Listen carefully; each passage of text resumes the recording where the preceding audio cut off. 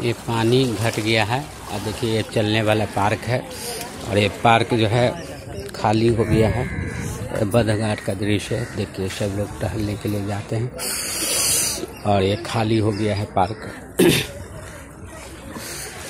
और देखिए, ये अभी बदघाट का मंदिर डूबा हुआ है। आज उन्नीस तारीख है।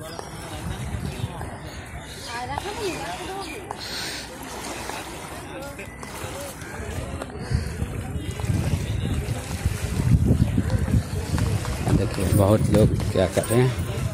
नहा रहे हैं।